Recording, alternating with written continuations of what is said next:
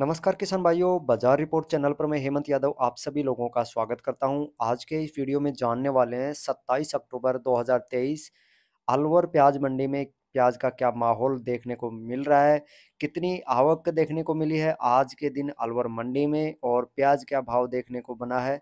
तो सभी जानकारी इस वीडियो के माध्यम से मैं आज आपको बताने वाला हूँ तो वीडियो को ज़्यादा से ज़्यादा लाइक करें, शेयर करें और चैनल पर पहली बार हो तो चैनल को सब्सक्राइब करना बिल्कुल भी ना भूलें।